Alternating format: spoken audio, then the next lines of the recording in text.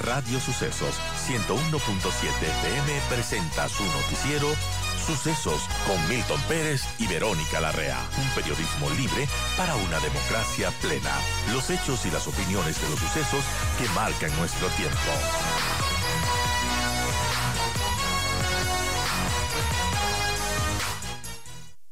Oiga, cuéntenos cuál es su reacción de lo que escuchó anteayer en la Comisión de Fiscalización. Bueno, primero agradecerle a, a Radio Sucesos, a Telesucesos, a la familia Naja y a ustedes principalmente. Vea, decir que el tiempo nos dio la razón. Eh, 11 años después vuelvo a tener la razón con la justicia, con la verdad, cuando Capaya viene y le dice al país lo que en ese entonces le denunciamos al fiscal de la nación, Galo Chiriboga. Denunciamos las irregularidades petroleras. Irregularidades como por ejemplo de que se embarcaba primero el petróleo y luego de embarcarlo le daban 45 días en los buques para que vayan y vendan el petróleo, Milton y regresen a pagar 45 días después. Segundo, se creó una ficticia venta entre Estado y Estado supuestamente para alejar los intermediarios. Con sorpresa, las mismas cadenas de corrupción que existían eran los mismos intermediarios. Tercero, todo esto y dio un perjuicio al Estado ecuatoriano de miles de millones de dólares. El Ecuador no tenía un presidente, tenía al jefe de una organización criminal al mando de todas estas organizaciones. ¿Por qué todo esto se fue trabajando en la justicia de a poquito y por otros lados? Porque los sancionados en, el caso de corrupción en, el área energética son por la refinería de Esmeraldas, por ejemplo. Ahora no más, recién aparece Nielsen Arias en su cooperación eficaz en los Estados Unidos. Antonio Pérez detenido en los Estados Unidos. ¿Por qué? Lo que le quiero decir es que el caso Petrochina, Petroecuador, Petrotailandia suena más grande que el caso Sobornos. Es indudable. ¿Y por qué suena más, más grande, Milton? Quiero que el Ecuador conozca que en mi denuncia que presenté en la Fiscalía en ese año 2011, denuncio que lo encontré a Nielsen Arias en el vuelo 932 de American Airlines el 6 de agosto del 2011. En ese vuelo iba rumbo a Suiza. ¿Qué hacía Nielsen Arias rumbo a Suiza? Después rumbo a Dubái, después rumbo a Qatar. ¿Acaso Ecuador le vendía petróleo a Suiza, a Qatar o a Dubái? Los ecuatorianos tenemos derecho a que se recupere el dinero perdido por eso le pido a la fiscal general de la Nación, ahora que el gobierno americano ha descubierto todas estas irregularidades, por fin podamos ya sancionar a aquellos que están debidamente ya señalados en esta cooperación eficaz americana, Milton. Solamente el hecho de que Nielsen Arias haya sido detenido y esté colaborando con la justicia estadounidense parece que fue lo que empujó a Capaya a decir lo que dijo el miércoles y ahora faltaría un empujón de la justicia. Mire, las denuncias del 2011, las investigaciones de Diario El Universo, las investigaciones de Fernando Villavicencio en su libro Made in China, el petróleo que nunca fue a la China, las denuncias de Galo Lara. Lo único que han hecho es testificar lo que todo el Ecuador ha sabido en todos los corrillos y pasillos. Había un petrolero de Carondelet que nos quiso hacer creer que había hecho una gran negociación con China. Y mire usted, cómo Capaya ahora viene a dar lujos de detalles, que le pagaban un millón de dólares por el puesto, que le ofrecían incluso, indicó cómo querían eliminar a Fernando Villavicencio Vea usted la acción de Villavicencio. Villavicencio lleva a Capaya a la asamblea. Inmediatamente le ponen una sanción de 31 días. Y después de la sanción de 31 días, que lo suspenden, le intentan levantar la inmunidad, igualito como me hicieron los correístas en ese entonces que me pidieron a mí tres veces, Milton, el levantamiento de la inmunidad. Entonces ya sabemos quiénes son los que están del lado de la impunidad y quiénes estamos del lado de la justicia y la verdad. Un tema, usted dice que denunció en el 2011.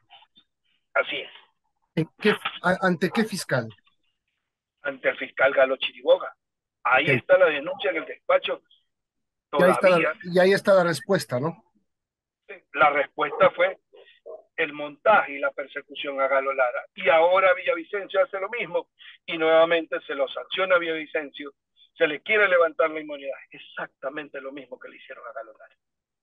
8 y 55, estamos hablando con el ex asambleísta Galo Lara sobre el caso Petroecuador. Galo, buenos días. Y bueno, ahora que Nielsen Arias está procesado en la justicia de los Estados Unidos y que todo esto ha salido a la luz, ¿qué cree que suceda aquí en Ecuador o qué debería suceder? Bueno, lo primero que ha sucedido es que el colaborador eficaz el señor Pérez lo ha llamado por teléfono a Nielsen Arias este año 2022, ya siendo colaborador eficaz de la justicia norteamericana, y lo ha grabado en sus conversaciones sobre las coimisiones que se habían cobrado entre ambos. Diario El Universo ayer lo reportó. Imagínese usted tener una llamada telefónica en este año sobre los negocios de hace 11 años, en donde admiten haberle el uno pagado y el otro recibido comisiones, ya no queda duda. El peor gobierno de la historia, el gobierno más corrupto del Ecuador, fue el gobierno de la década pasada. Ahora, Capaya presenta una, un organigrama, digamos, de este esquema, de este supuesto esquema de corrupción, y claro, lo, lo pone a la cabeza al expresidente Correa, a dos exfiscales, a un ex procurador, a ministros de finanzas, de energía, etcétera, presidentes de gerentes de Petroecuador. Y Capaya no se pone en esa, en esa, en esa, en esa, en esa trama, en, esa, en ese organigrama. Eh, Pero sí se menciona, Milton, aunque no se pone en ese organigrama, él sí se menciona que fue al quinto piso del Swiss Hotel y le entregó 300 mil dólares al ex fiscal de la Nación, Galo Chiriboga oh, sorpresa para los ecuatorianos. Así es. Eh, ¿Cómo creerle a Capaya? Tiene cinco sentencias. ¿Cómo creerle a Capaya? Porque las denuncias de Capaya están documentadas, porque las irregularidades las confirmamos, porque los sobreprecios del petróleo existen. Si no, no estuvieran presos los que están presos en Estados Unidos. Pues es lo mismo que denunció Galo Lara, que denunció Capaya que denuncia Villavicencio. Usted escuchó, no sé, el, el, ministro de Energía, eh, Fernando Santos Alvite, eh, dijo hace unos, hace unos días, me lo dijo a mí además, contó la historia de que lo fue a visitar en la cárcel a Capaya, porque es su amigo, él no tiene por qué negarlo, y, y, dice que él ya había denunciado el tema a Nielsen Arias y lo sacó a Nielsen Arias cuando estaba a cargo del ministerio, eh, y Glass le llamó a decir, no lo saques, no lo toques.